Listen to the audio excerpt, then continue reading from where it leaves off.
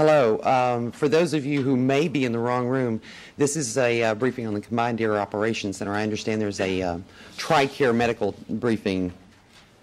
Is that what you're wanting? And Colonel Kennett over there can give you the room number for that. Good morning. I'm Virginia Pribble, Chief of Media Relations for the Air Force. This is a single subject on the record briefing on support to the peacekeeping forces in Bosnia through the Combined Air Operations Center in Vicenza, Italy.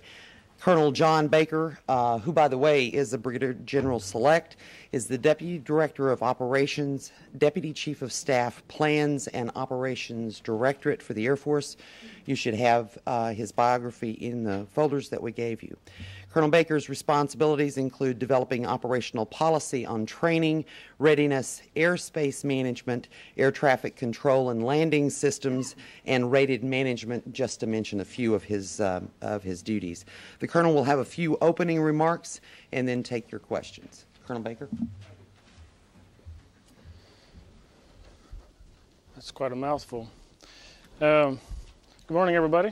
Uh, glad to be here. Looks like Bosnia Day in the Pentagon for the media.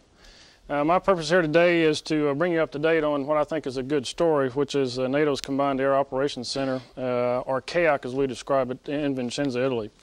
Uh, we're pretty excited about how the U.S., working with our allies in NATO, have turned the CAOC into a very high-tech facility as it is today, and uh, how we're going to use that is part of what I'm going to talk about today.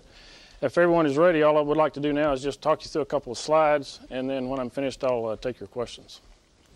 First, uh, I think it's important perhaps for some of you to understand uh, what a CAOC is, what it does. It is the Regional Air Component Commander's operational headquarters for planning and executing air operations. In this case, air operations over Bosnia. Uh, the Combined Forces Air Component Commander is the commander of NATO's Southern Region headquarters in Naples, Italy, uh, while the CAOC is located uh, at NATO's 5th Allied Tactical Air Force headquarters in Vicenza. Uh, the CAOC director and his staff translate the commander's overall strategy into daily air operations plans, commonly referred to as air tasking orders, or in NATO terminology, air tasking messages. Uh, they then control the execution of the plan, monitor its progress, make last minute changes and adjustments, and then they begin the process all over again. The objective is to make the most effective use of NATO's air assets. Next slide, please. Just a little history. The CAOC is a lot different today than it was when first organized. Uh, likewise, the mission has evolved considerably from enforcing the United Nations no-fly zone mandate over Bosnia to supporting the current NATO IFOR mission. Uh, we're pretty excited about how we and our NATO allies have been able to support the commanders on the scene by merging current intelligence, surveillance, and reconnaissance systems with the latest computer and communica communications technology, which has allowed us to integrate large and diverse sources of information into real-time and near real-time displays that are easy to understand for the battle staff and for commanders. Now, this is a far cry from where the CAOC began as a temporary facility in the spring of 1993 when a small NATO staff was moved to Vicenza to set it up for denied flight. Its initial mission was uh, to provide the necessary planning, command, and control capability need to run, needed to run denied flight. Uh, when activated, it had only the minimum essential equipment necessary to support enforcement of the UN mandated no fly zone. Uh, by the time deliberate force got underway this past August, uh, the CAOC's capabilities were considerably enhanced through the integration of some of the latest Air Force planning tools and situation awareness systems. At the same time, NATO worked to integrate these and other new systems into an integrated network that improved the flow of information inside the CAOC. Uh, NATO also completed and moved these new systems into a new facility last June. Uh, the highly visible, very accurate, and very successful execution of NATO's deliberate force air operation that helped bring Bosnia's warring factions to the negotiation table is uh, one indication of the success we've had in creating a highly efficient combined air operations center that can quickly translate strategic objectives into military tasks. Uh, the new CAOC facility doubled in size this past December when NATO completed construction of a new addition. Uh, this was fairly fortunate timing since it occurred just as the CAOC accepted new responsibilities associated with the Dayton Accord namely an airlift coordination cell and an enlarged ground liaison element linked to the NATO land component commander in Sarajevo. Uh, commanders are now using the best technology to support the warfighters on the ground. The objective is to provide the senior IFOR land commander, his staff, and subordinate commanders with the support they need to carry out the day-to-day -day activity of supporting troops on patrol and by monitoring movement of personnel and equipment on the ground, ours and theirs, as we help the theater commander track the peace process timelines. Through the use of the latest technology, we are now able to leverage a variety of old and new systems into a fused, all-source air-ground picture that provides the most comprehensive picture of the battle space we've seen. More importantly, with the latest advances in communications connectivity, the CAOC also has the ability to rapidly refocus all available surveillance and reconnaissance assets onto a specific area of interest, thereby gaining an integrated assessment of a potentially dangerous situation on the ground. Now let me turn to some specifics on how the CAOC conducts business. And I have to tell you that during my three visits to the CAOC over the last nine months, people have been amazed at the progress that's been made there. Next slide, please.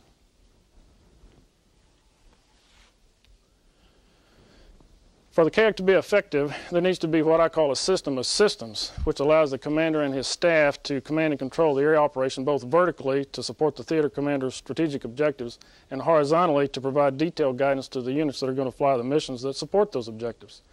At the same time, the CAOC needs the ability to monitor and assess the current situation in order to respond rapidly to changes in the weather, new threats that pop up, or short notice high priority missions. As this slide shows, the system uh, works continuously as the CAOC staff is simultaneously planning tomorrow's missions while executing today's. The systems in use at the CAOC on the planning side, which is what the first two bullets talk about up there, include some of the latest computer-based planning tools available, to include the JFAC planning tool, or JPT as we refer to it, and the Contingency Theater Automated Planning System, or CTAPS, which you may have heard of earlier. Next slide, please.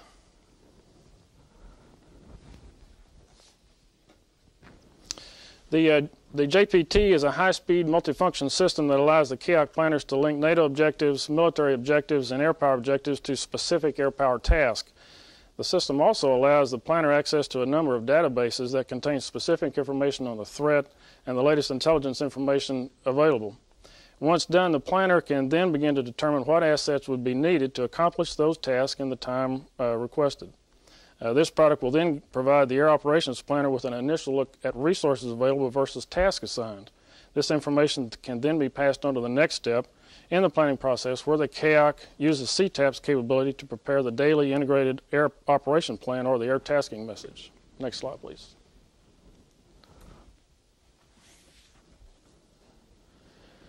CTAPS uh, is a new system that allows the CAOC planners to go to the last planning level, if you will the system can access the latest information from supporting units on their ability to support operations over the next 24 to 48 hours. Using the up-to-date data, the uh, CAOC uh, Air Tasking Message Planner begins to lay out the specific details of each mission, such as time, number, type of aircraft, what support assets are needed, like AWACS and so forth. To aid in this effort, the system contains several embedded modules which give the CAOC staff and the units in the field access to email, imagery on file, and the latest intelligence updates as the plan comes together during the day. There are also programs which provide the latest weather data and that assist in ensuring airspace deconfliction, which is central to the planning process for any large air operation. But as with any system, uh, if you can't effectively communicate the data to your forces uh, while watching the threat to those same forces, you can't execute it very well. This is where C4ISR, and this is a mouthful, command, control, communications, computers, intelligence, surveillance, and reconnaissance become central to the execution of any plan. Next slide.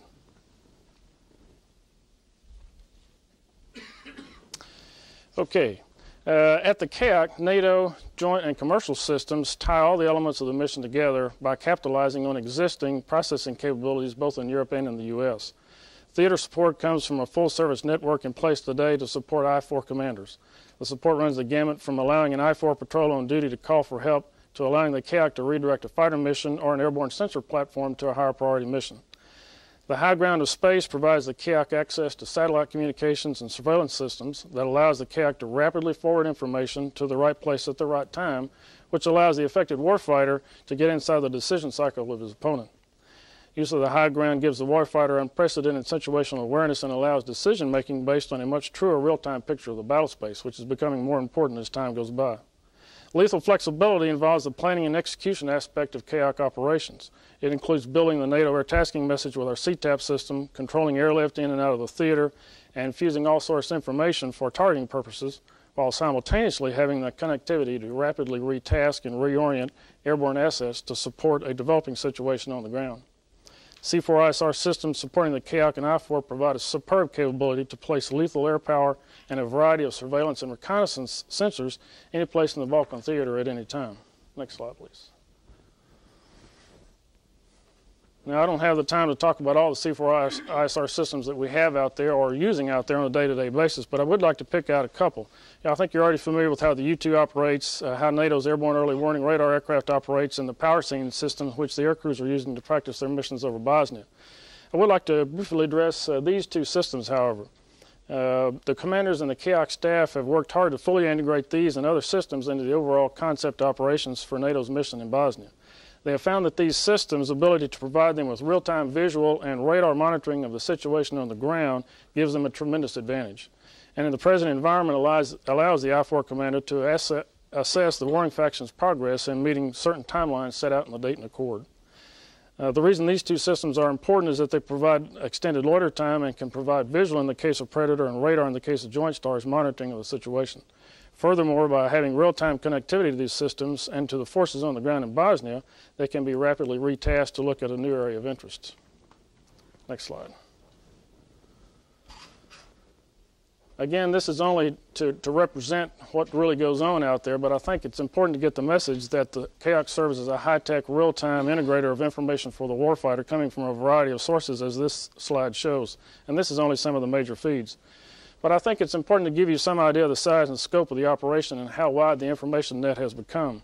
As the mission has evolved from enforcing a no-fly zone to supporting NATO forces on the ground, the ability to rapidly access, access, integrate, and distribute time-sensitive information gives today's commanders what commanders have always desired, the ability to see over the next hill. The CAOC's successful use of air power during deliberate force was due in large part to this ability. This capability lends itself to the current mission as well as the commander and staff use air power in support of IFOR.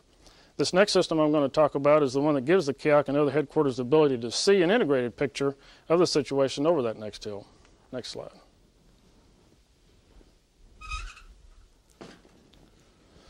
This is a system that's been to, uh, deployed to the CAOC to act as the central integrator of information, and we refer to it as JSAS or the JFAC Situation Awareness System. This really acts as the eyes and ears of the commander. It not only integrates radar information from airborne and ground radar sites, but from a large variety of NATO and U.S. systems.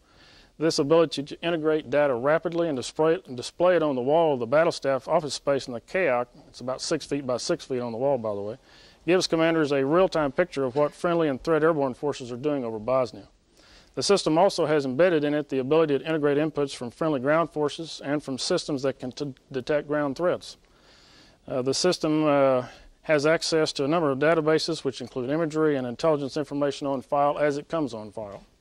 Depending on the headquarters staff request, the system, system is flexible enough to display live video feeds from UAVs like Predator. As currently structured, the system can display maps that are already being used by our ground forces in Bosnia to sh show deployment not only of NATO forces, but also the deployment of the previous warring factions as they were when the accord was signed. When overlaid with real-time data, the display provides the users a very clear picture of what the ground forces are doing. The bottom line is that the CAOC has been equipped with systems that give commanders the most comprehensive view of the battle space that modern technology can provide. The integration and display of this real-time view of the battle space over Bosnia gives our forces great leverage over any opposition. There are obviously no guarantees, uh, but we're very excited about what NATO and the U.S. has accomplished, and that's all I have. Sorry I went so fast. Uh, I'll take any of your questions. Does, does the JSAS able to integrate imagery from uh, national technical systems and space, or is only to integrate satellite imagery from SPOT and Landsat? Uh, I'm not the expert on that uh, particular issue. I know that there are, uh, it has capabilities beyond those, but what they are, I can't give you the specific details. To what extent uh, is this information that is received there in Vicenza being shared with the Russian component on the ground? Well, we have a very collaborative effort, and that's obviously something that we're working very hard to do. The Russians do have people in the CAOC, but their primary job in the CAOC is to work the airlift uh, flow in and out of Tuzla. Uh, and that's the only Russian presence at the CAOC at this present time. But there are, Russian troops on the ground in, uh, in Bosnia, to, so to what extent is this information being shared with their commanders?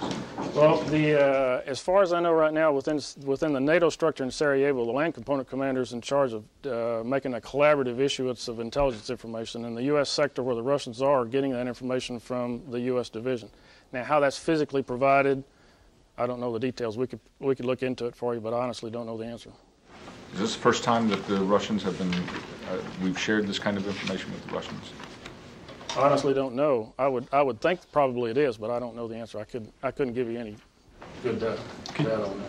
Can you describe how the, uh, the UAVs and the JSTARS uh, might be used in their role of monitoring compliance of the uh, peace agreement?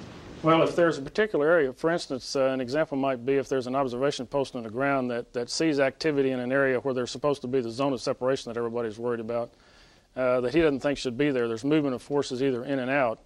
Uh, you have the ability to move those sensors in place to actually look at that uh, day or night. Uh, so you could monitor the movement of those forces as they flow in and out of that particular area. What does the, uh, could you tell us, like, what, what is, how would a UAV be able to help you? What would it tell you as opposed to what, say, a JSTARS plane would be able to tell you about, whether it's forces or weapons or something in the zone of separation? Well, I think the only difference primarily that Joint Stars, of course, as you know, is a radar picture only. So it can tell you that something's out there. Uh, the UAV, if it has an EO package on, which can give you a live TV picture, obviously that allows you to then uh, actually see the uh, whatever it is on the ground. Of course, you have to have the weather for that, but uh, if you have the weather for it, then it can provide you that capability. And what's interesting about the CAOC, uh, with the connectivity we have right now, is uh, if a report comes in from the field says, "Hey, there's activity over here. We want to go look at it, or get evidence of it, or take a picture of it." Uh, by having the connectivity available, we can move those sensors in place to do that because they may they may be someplace else when the report comes in. We may have to move them 100 miles or so to go and actually look at it, the problem. This isn't the same as the Gulf War, which is a much bigger theater and a different kind of theater, but could you compare what kind of uh, clarity you have of the battlefield, as it were, uh, today compared to five years ago when you were sort of, you know, the- how has the technology improved? How much more can you see? What better vision can you give commanders? I think there's two parts to that. I think one of them is the predictive nature that we know more about the systems that we have available out there. So the guy who's making the plan, if you will, the day prior, he knows more about what systems are out there, what their capabilities are, so he can better integrate them into the overall plan, if you will. So we can make better and more efficient use of those assets. Uh, the second part of it is I don't think anybody would deny that uh, we have a much better, clearer picture uh, for two reasons. One, it is smaller, uh, so with fewer assets, we can get a better picture uh, for longer periods of time. But I think the technology that allows us to integrate that, particularly with uh, JSAS, so that you can see uh, on a six foot by six foot screen in the CAOC a live feed that fuses information from the NATO uh, airborne warning aircraft, from the ground radar sites, from the uh, from the Air Force's MCE deployable radar system into one picture. It's it's very useful. Incomparable to that one picture during the uh, Persian Gulf War? Not that I know of. Anybody know?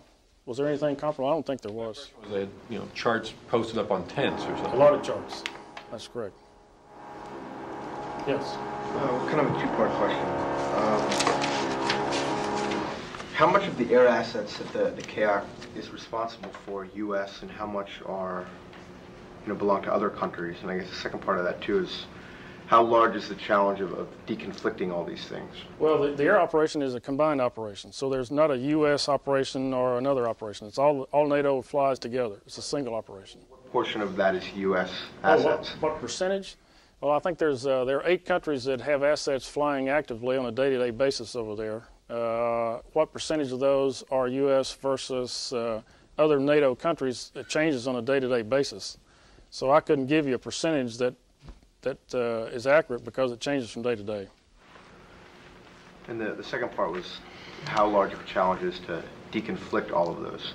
Actually, it's, it's not as hard as it used to be. Uh, part of the reason it's not is because of some of these systems that we have over there. CTAPS has got a program embedded in it for airspace deconfliction. So as you're going through as a planner and trying to determine where you want various missions to fly, where you want your sensors to orbit, where you want the tankers to be positioned, as you add missions to that program and provide the profile information, in other words, the route of flight and so forth, if you have one that deconflicts with one that you've already planned, the computer will tell you that and won't allow you to, uh, to run two flights together or double up in a particular orbit. And when you have a large operation, that's, uh, that's very important. Yes, go ahead. Uh, In the absence of the Predator until it's redeployed in the spring, is there any other way you can get live pictures close up from the, uh, from the zone of separation, for example? in The only live pictures I know that we're getting right now because of the weather are radar pictures, and that's Joint Stars. Um, as far as live video, TV pictures wise, the weather pretty much inhibits everything that we have. So, as far as I know, the only thing that we're getting live right now is joint stars. In terms of threats to uh, NATO aircraft, the primary concern for a long time have been these mobile uh, Serb uh, anti-aircraft missiles. Do you have any better idea today of the locations of, of all these missiles? Uh, I, I don't know the answer. I honestly don't know. I, I've heard people talk about what they're doing to keep track of them, but we'd have to take that question. I, I honestly can't give you an answer. Let me ask you another question. Have there, have uh, NATO aircraft been painted in, in the last um, 30 days or so since the signing of the peace agreement by um, Serb uh, radar? Um, I, hmm, I'd like to give you the absolute correct answer on that, and uh, and since I don't know the absolute correct answer, we can we can probably find out for you from somebody. But I, I can't give you with any level of fidelity. We'll have to go to the theater to get that information. What makes Predator grounded in the winter? I mean, why, why can't you fly it now? Well, the system that was over there before, as you'll recall, was uh, was a uh, was a prototype, if you will. And so when it came back, one of the reasons it came back was to get some modifications to it, uh, so that uh, it could see through the weather, uh, different kinds of uh, sensor packages and so forth. So it was brought back to have an upgrade. One of the reasons. So basically, it's not ready now. No, but it, it and I don't know the specifics. I, we can find out for you. Somebody probably knows that answer, but I don't know when it's going to be ready. I, I don't track it that closely. Sorry. Colonel Baker, uh, some of the things was concerns flying in the weather. They're putting pitot heat on it and giving it an ice detection capability because that was one of the shortcomings because it flies at the altitudes where weather is a factor. So some of the modifications besides the centers also give it some kind of capability to fly in the weather. It's icing you're worried about? Yes. Okay. Yes. Um, you described this whole systems of systems as an effective prototype. I was wondering if you could um, think of any particular areas of that system that you would like to see improved or that perhaps isn't working quite optimally right now. Well, I think what's happening right now, uh, I think it is working as well as we can make it work, and it's working remarkably well compared to what we thought it would uh, maybe a year ago. Uh, I think where the focus is going to be now is as we move more into uh, the, the mission on the ground in Bosnia is look at ways to, to integrate more information on the ground disposition than we currently have. And I think if there's going to be any additions to what we currently do, it's to get uh, a better fidelity of uh, the ground situation. Can you think of ways in which you might do that? I'm not a I'm not a technician. I mean, I don't. I'm not a technical kind of guy, but uh, we have people who could probably get you some information on that. But there are systems that the that the various armies have over there, the British, the French, and the U.S. for uh, building databases. And uh, what we need to be able to do is get that information uh, fused into this system that we're talking about. And there are people working on that now. How much of a concern in a place like this is, are things like network security and and that, that's always a concern. Uh, I think the advantage of where the CAOC's located is it's inside uh, the fence, if you will, of an Italian air base in Vicenza. Uh, there's been a NATO facility there for a long number of years. And so when the CAOC was, was, was built there, uh, because there wasn't a CAOC at the time uh, uh, denied flight started, and they, they sort of embedded it into the 5 ATAF headquarters until NATO built this new building.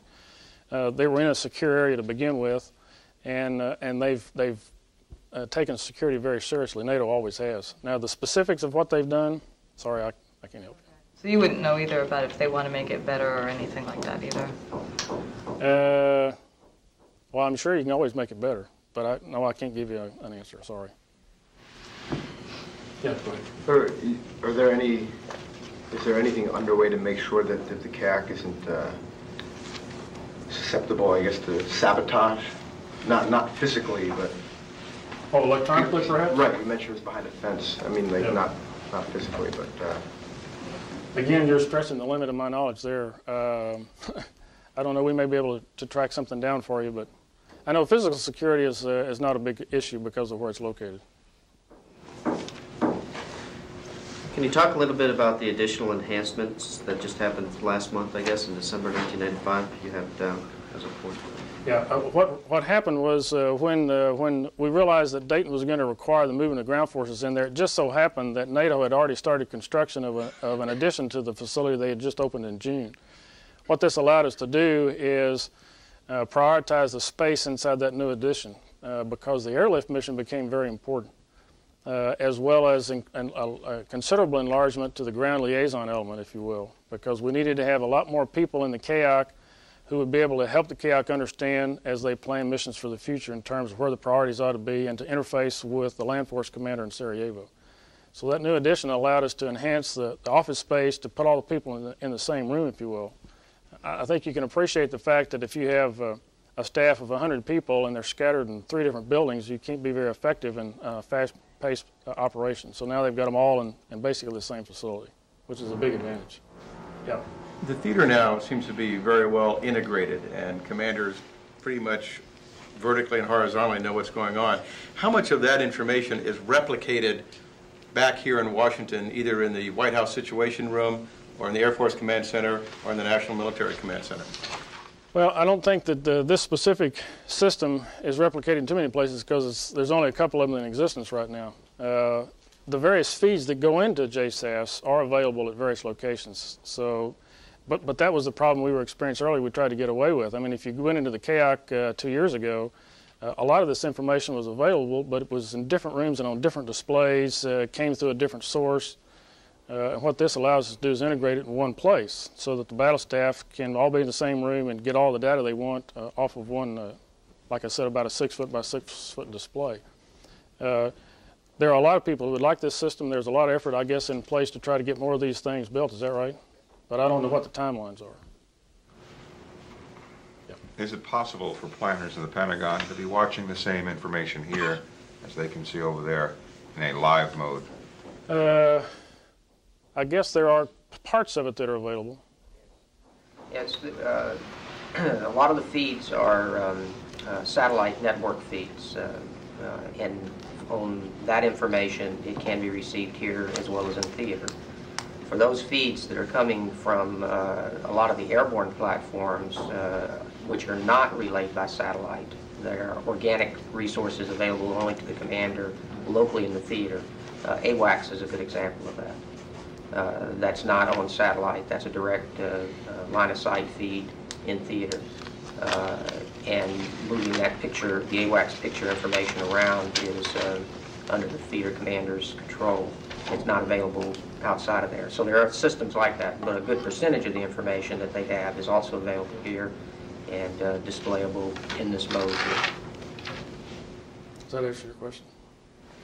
Yes. Um, I understand that in a joint command and control exercise last September, the Air Force was having some difficulties passing some of the information to the other service command and control centers because, as I understand it, you were using different communications protocols. Is that still an issue, or has that been? If it is, I'm not aware of it, at least in the CAOC. The last couple of times I was over there, I mean, you have to understand the CAOC is not only combined but joint. So there are liaison elements there, and actually people working in the CAOC uh, from all the services and from all the countries that have assets involved in the operation. And uh, the uh, the ATM, for example, which has always been a hang up in certain locations of how fast it gets out and so forth, not a problem. Can you, uh, can you describe it all, if, uh, if improvements at the CAOC have, been- I understand that there've been improvements to im- improve the uh, amount of time it takes to get critical intelligence to, uh, to pilots, for instance, so that there's not a repeat of the incident like uh, Scott O'Grady's shoot down where he missed getting a warning by apparently just about a minute or so. Uh, What's been done to prevent a repeat of that?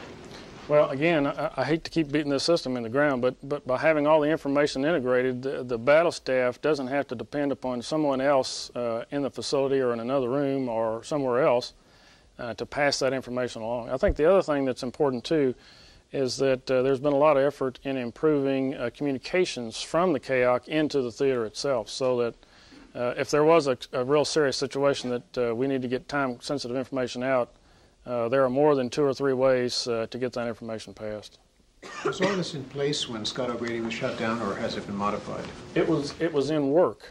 In other words, as part of uh, NATO started building their new facility back in May. Uh, it opened uh, toward the end of June, and some of these systems uh, were under development and uh, were in preparation for being installed, but were not yet installed, waiting on the new facility to be to be built. So what difference would it have made in this case?